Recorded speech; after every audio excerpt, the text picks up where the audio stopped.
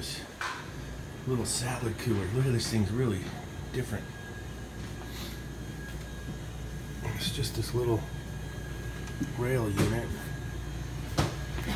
And then the compressor and stuff's gonna be down in here. Let me see if I can get it apart. This is gonna be pretty neat. Something different.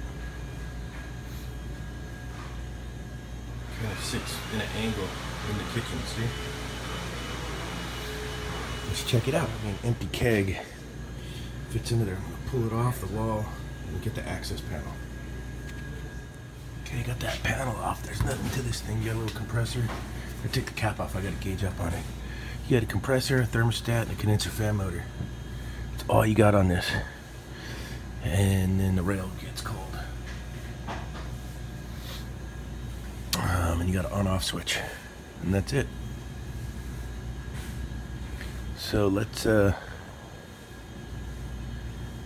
let's fire it off and see what the pressures look like. Okay, I did see one problem before I gauge up. Look at the outlet. That's where the air is supposed to come out. Those louvers are all plugged. Big time. I'm gonna have to out real good. I'm getting my brush going here. You can see all the scuds coming out of the louvers to get her cleaned up. Condenser looks clean. I gotta get those louvers cleaned out too though, see? A little bit of scuzz there. Okay, so we're running.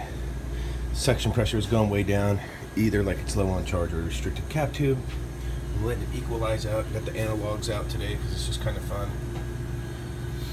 So we'll fire it off, and what I like to do is turn it on here. We'll turn it on and get it running. So we're back to running. We know the suction pressure is going to come down. Now with the static rail, you might be around a 10 pound suction, which would probably put us at about, yeah, somewhere around a 10 degree evaporator.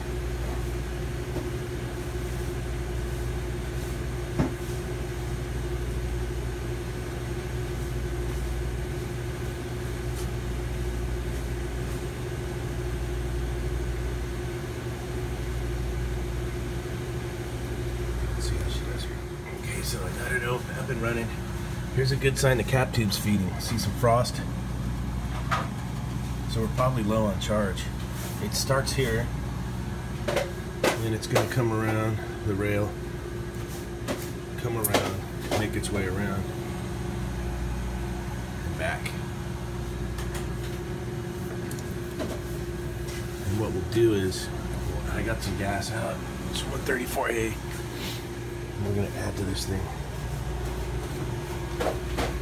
See, we're gonna in a vacuum. A little squirt here, a little squirt there, and see where it comes around. You hear the compressor sound get better.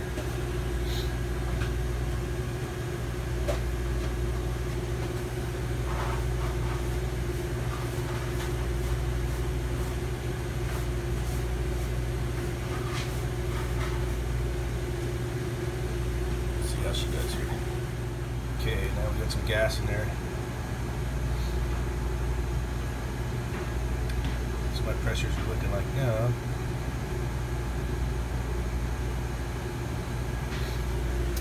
And you can see we're getting a frost pattern coming around. Now we're feeding some refrigerant.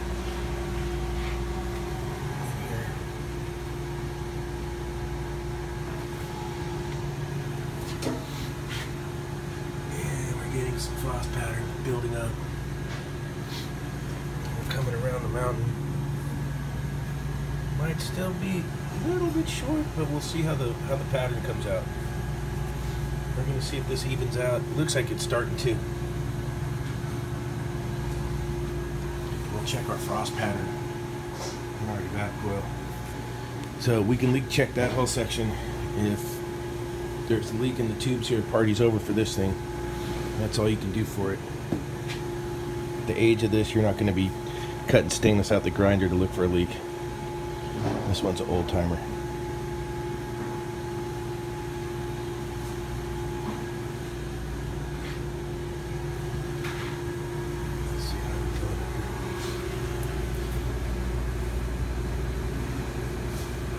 Pretty close.